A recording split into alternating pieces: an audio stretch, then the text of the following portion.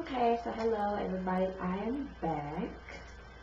And today I'm here with a video with a couple back to school tips. Just a few. So this can go for anybody that's going back to school.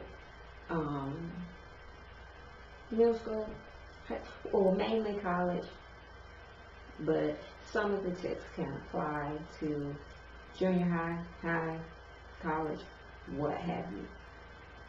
So, there's just a couple things that I thought of that I use and some things I wish I would have thought of early on. So, um, let's get started. So for those who are going back to college or just starting, you know, freshmen just starting college, um, one thing that I didn't learn till late in the game in grad school was once you register for your classes, you can go on to probably your school website in your class description box and find your syllabus with your professor, find your syllabus and they already have your book in there. Mm-hmm. And you can actually find, you can actually go get the book early and one thing that I didn't know was if you get the book early, way before school even starts back, it'll probably be cheaper. Probably if you're getting it outside of the school bookstore. I know for me, I would get mine from a local bookstore, and it was cheaper. Back when I first registered for the class, it was cheaper, and I didn't think, I didn't know that. I thought it would be the same price and I waited until probably a couple of days before class started and checked back to see if they still had the book and it was marked up ridiculously.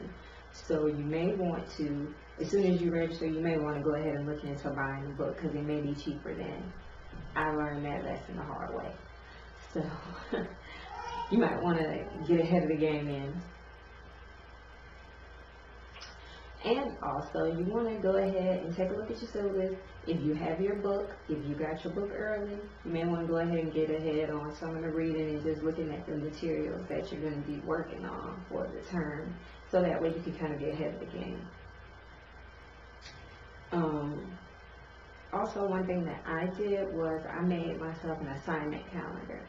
And I put it next to my personal calendar. And I just wrote in on it all the assignments that I had and all the assignments that I had and their due dates. So that way I could stay on top of things because one of my biggest issues was I would forget about some assignments, especially the due dates. How I'm gonna remember due date for an assignment I didn't even remember that I had. So once I did that, it kept me on track. And it'll, it should keep you from procrastinating. It should, you know, keep you from messing yourself up. So that's a really good thing. And also, on that calendar, you may want to add in some important dates as far as school breaks and end of the term dates and drop add for college students drop add dates. Those are pretty big drop add dates because you don't want to get charged for a class. You don't want to get stuck in a class that you don't want to take at that time. So you know any important dates.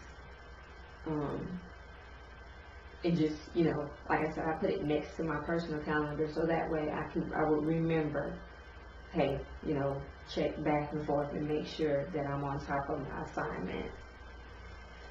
Um, also, you're gonna want to price match your assignments and, I mean, price match your supplies. Um, you, I don't want to spend, and, and price match with clothes too. And do your research and find out if your area is having tax-free weekend and find out when they're having back-to-school sales and you may want to take advantage of that time period to do all of your shopping.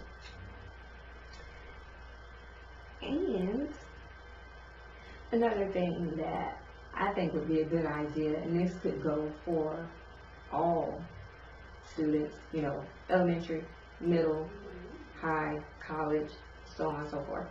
Um, setting, set personal goals for yourself and set standards and expectations for your school year.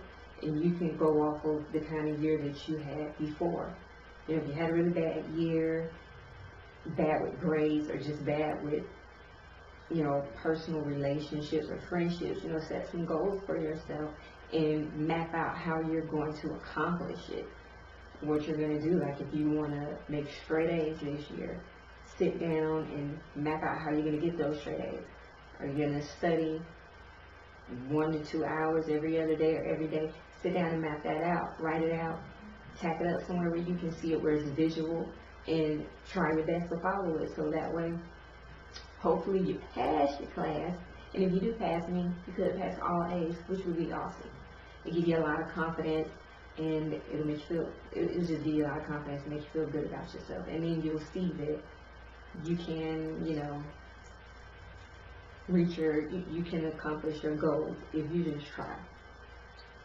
So I think that's you know can go for any student and it's really good personal development. And last but not least enjoy the rest of your summer. That's all of my tips. Like I said I didn't have that many but I did have some that I could have used back in the day. I ain't gonna tell you how far back in the day, but back in the day. So, if you like this video, which hopefully you did, if you did, please rate and subscribe. And if you did not, don't give up on me yet. I'm sure I have one that's gonna catch you. Anyways, talk to you guys later. Thanks for watching. Bye.